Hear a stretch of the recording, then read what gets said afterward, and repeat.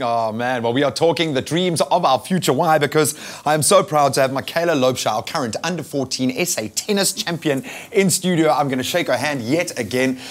Looking at your list of achievements, and first of all, I have to say Happy Youth Day. Um, thank you so much for joining us and giving us the early morning um, today. But looking at the year that you've had, it is incredible. Just take us through some of the achievements that stand out for you over the last year.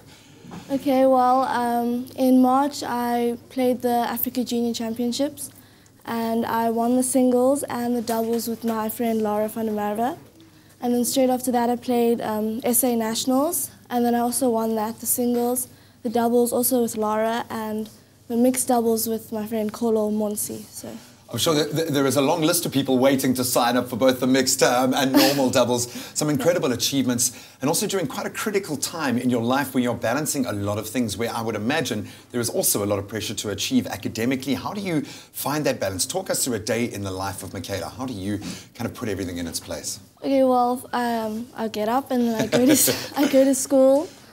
Um, normal day and then I rush home and then I just quickly change and eat something and then I go straight to tennis and then after tennis I just I go to gym have a gym session and then I'm done I go home and I do my homework and then that's basically it. you find that balance is this yeah, and I don't want to put that additional pressure on you. I think from the sporting fraternity, we always want to see youth stars converting onto a senior level. Is that the goal? Do you feel that that's the door that you're knocking on?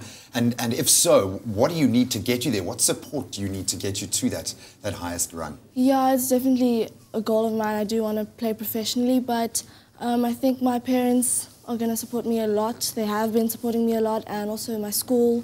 They also support me a lot, and they help me with the academics and all of that stuff. So.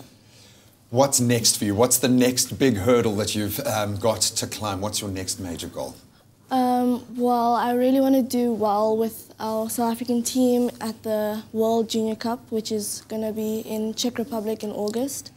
So that's going to be a lot of fun and I'm very excited for it. Um, it's been awesome to meet you. It's unbelievable to see what you've achieved at such a young age already, and even more scary to realize that you are only just getting started. So thank you so much for joining us. Thank you. Please tweet and Instagram as many pics as you can from the tour. We'd love to I'll follow try. your progress. awesome stuff. Um, awesome to have young stars like Makayla joining us on a Youth Day special here on Expresso.